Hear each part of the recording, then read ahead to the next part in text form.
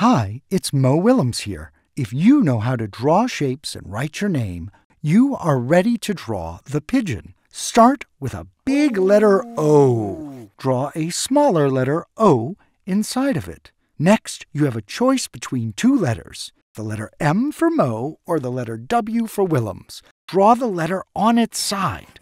We are going to place the pupil next. You can put your eye wherever you want, but make sure to darken it in.